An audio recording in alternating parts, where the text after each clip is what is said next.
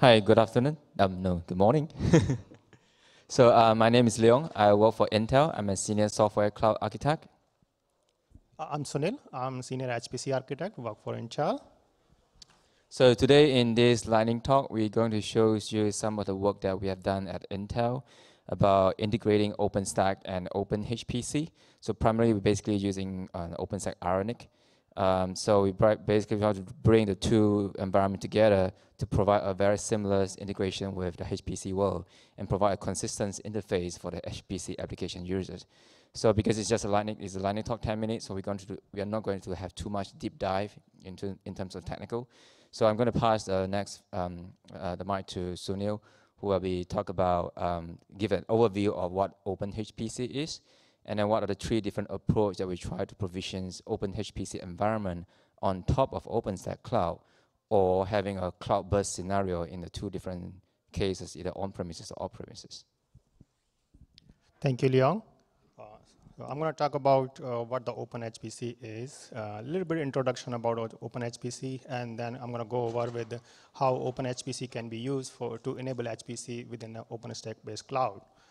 Uh, so talking about the OpenHPC is very similar to OpenStack. OpenHPC is an entire middleware stack, which is built by and for community to enable HPC.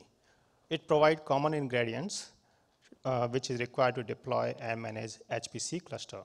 Uh, for example, it provides a provisioning tool, uh, it provides resource management, job launch, some of the IO libraries, development tool for HPC, and variety of scientific uh, libraries. Most of the libraries maintained here are very highly optimized for HPC point of view. There are around 60 plus uh, integrated and tested modular, tested modular components and different libraries. So, and this is uh, working as a Linux Foundation collaboration product. Uh, there is a link in case you are interested. Please go there. And today it is available at version v1.3. We launched sometime last year.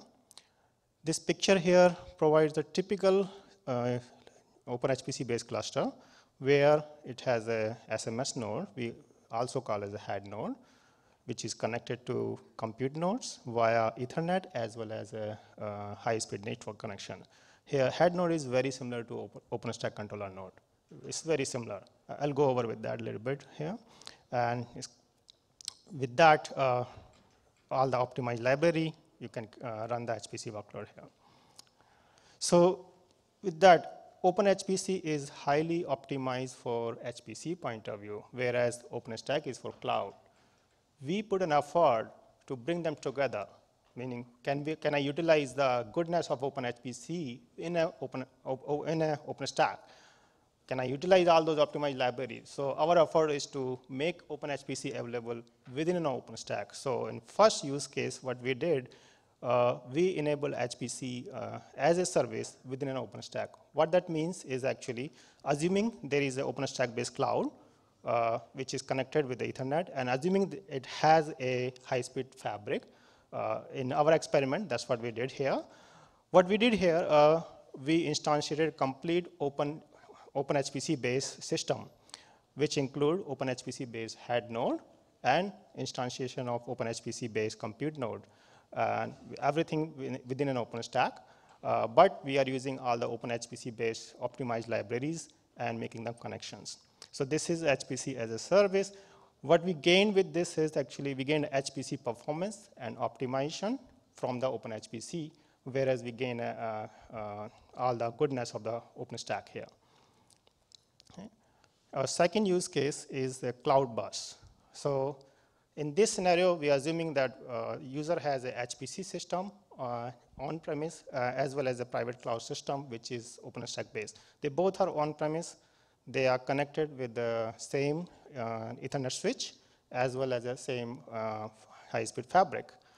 With that connection uh, in mind, what all we are doing is actually we are instantiating more compute nodes from the OpenStack and bring, uh, increasing our HPC uh, cluster uh, bigger with more compute capability. What that gives us actually, it, with that, HPC cluster is now can utilize some of the unused compute from the cloud. Uh, where most of the folks, uh, you guys are aware that HPC is CPU hungry, uh, memory hungry. So With this extension, we can utilize it. This experiment was done all the on-premise, uh, assuming they both are on-premise. So what happens if systems are apart, means they are not on-premise. HPC cluster is sitting here, and maybe uh, cloud cluster system is sitting somewhere out, very far apart. So that's what our next use case, uh, which is very similar to the previous one, only difference is here, uh, they are not connected together uh, via, uh, they have their own high-speed fabric network. They are connected via public ethernet connections. So what all we did actually, we created a VPN tunnel between those. Once VPN tunnel is established, we use the same method, same methodology to instantiate more uh, node and uh, more open HPC based compute node from OpenStack Cloud and extended our HPC cluster with more capability from the uh, private cloud. A little bit caveat here, uh, even though it's working, uh, uh, user is not suggested to run one HPC job across the different nodes because, uh, as you know, they are apart and there is a VPN tunnel. So uh, if you run one HPC job on, across these systems, performance will be very bad. Instead of that, it's advised to run multiple HPC job on different different cluster. We use the Slurm in our uh, experiment, and what we did, uh, we created subclusters. Uh, one subcluster on this uh, private cloud side, another subcluster on the HPC uh, side, and with that, uh, we were able to launch different different small HPC job and utilizing those one here. So in all these three use cases, uh, we used a similar approach. Uh, our design and approach, uh, what we did actually, uh, we are building a open HPC based images using the disk image builder. We created various ele elements which are open HPC based.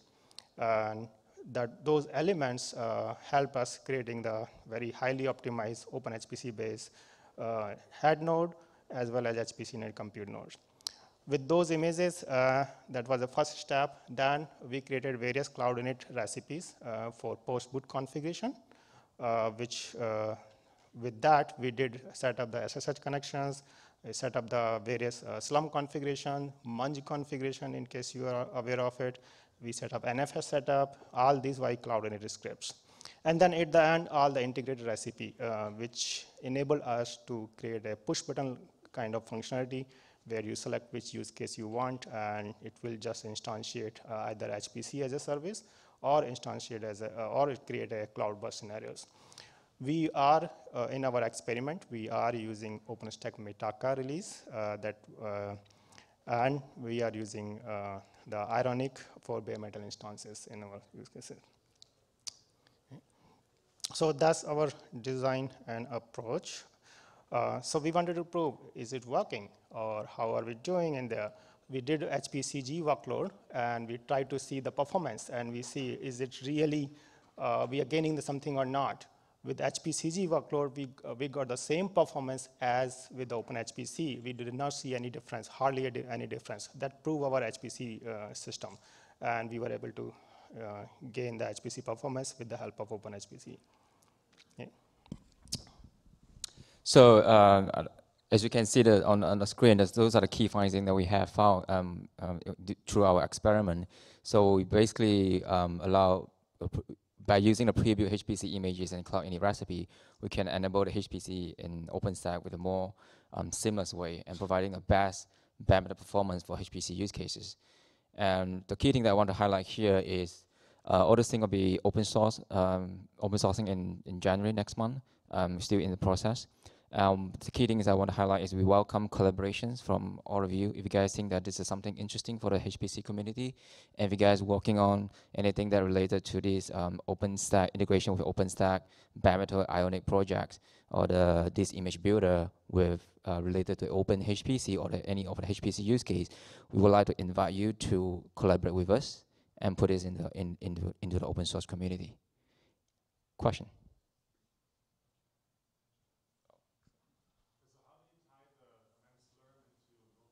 How do we tie Slurm into Nova? We did not. Uh, so uh, in our experiment, uh, what, what, we did actually, we have Nova is instantiating the different bare metal images. Slurm is we are using for launching a job for now. That's the next uh, addition we are trying to go, which uh, dynamically it can instantiate and create uh, those ones. So as, as I say, because this is a P, uh, the first initial work that we have done, if we want to do, I think there's a lot of things that we can do in the future. So definitely we welcome the fur- further collaboration with you, like having Slurm in, into our support. Yeah.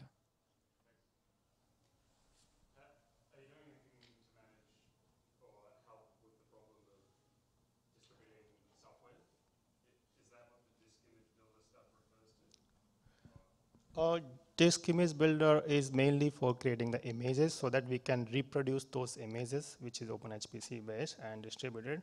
There is another areas of uh, collaborations. Uh, I'll go back in the previous slide here. Here, and so one of the collaboration is how, how do we share uh, IO share here? How do we NFS share between HPC head node to? Because they are far apart, and we would like to have support from the community if uh, someone can help a community point of view. We can grow this further and increase further this one. Sorry, this is a time concern. Um, I would, like, I would like to respect the next speakers, so I'm going to stop here. So questions, we'll stay around and we can have questions out there.